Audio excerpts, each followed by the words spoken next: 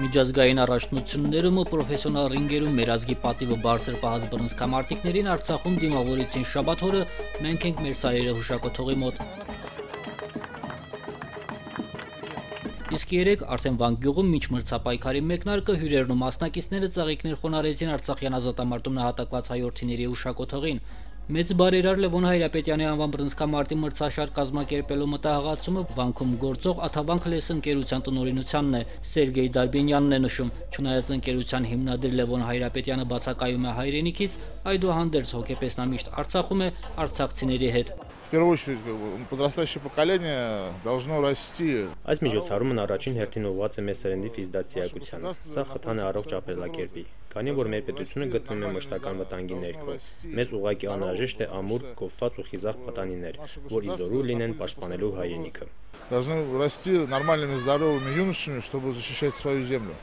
Մարզական միջոցառումը տոնի վերածվեց վանքեցիների համար, չէ որ գյուղում նման մրցումների հազվադեպ են ականատես լինում։ Բռնցքամարտի մրցապայքարը 12 զույգերի միջև էր։ Մրցակցությունը Հայաստանի մարզիկների եւ վանքում գործող բռնցքամարտի խմբակիստաների միջև։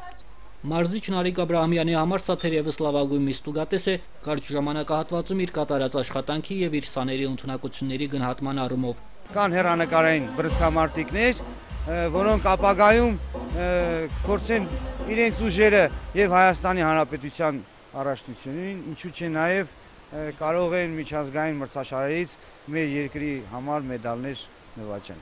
Այստեղ գլխավորը հաղթանակի հասնելը չէ, ասում է Հայաստանի Հանրապետության բռնցքամարտի գլխավոր մարզիչ Դավիթ Թորոսյանը։ Սա նախ եւ առաջ առողջ ապրելակերպ է մեր պատանիների համար, իսկ գյուղացիների համար հետաքրքիր ու աշխույժ ժամանցի կազմակերպում։ Մեր կողմից փուճուրիկ ձեռնարկը, որը մենք եկանք մեր սիրելի երկրորդ հայրենիքը ներկայանան որպես բռնցքամարտի, ասենք երախտավորներ, այսպիսի բուրըն ընկալումներով ընդունեցին այս ամեն ինչ։ Եվ ես շատ ուրախ եմ եւ հպարտ եմ։ Եվ ես երիտասարդների կամ փուճուրների հաղթանակը կամ պարտությունը դա հենց ստիմուլն է, որպիսի վաղը մյուս օր մենք կարողանանք այդ մեր գեներբանը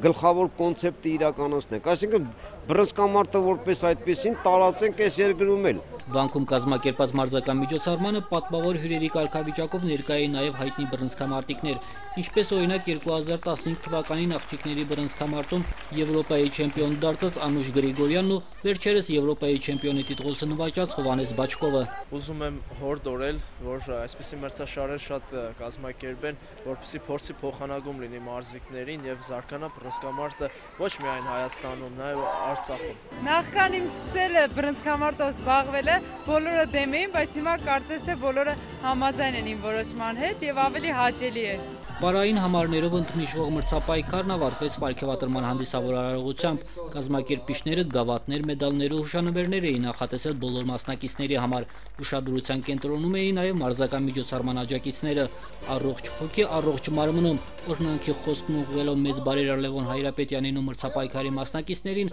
Արցախի թեմի փոխարաշնորհ Սահակ Վարդապետ Շաքարյանը բարձր գնահատեց իրականացրած աշխատանքը։ Հաստատվեց մի բարի ավանդույթ եւ ես առավել քան վստահ եմ, որ այն պետք է շարունակվի, այն պետք է բարգավաճի եւ նորանոր նաեւ ծրագրեր պիտի այստեղ կյանքի կոչվեն։ Միջոցառման կազմակերպիչները նպատակ ունեն Լևոն Հայրապետյանի անվան բռնցքամարտի մրցաշարը դարձնել ավանդական, ընդլայնելով մասնակիցների շրջանակը։ Գենադի Երեմյան, Բենիկ Ղարախանյան, օր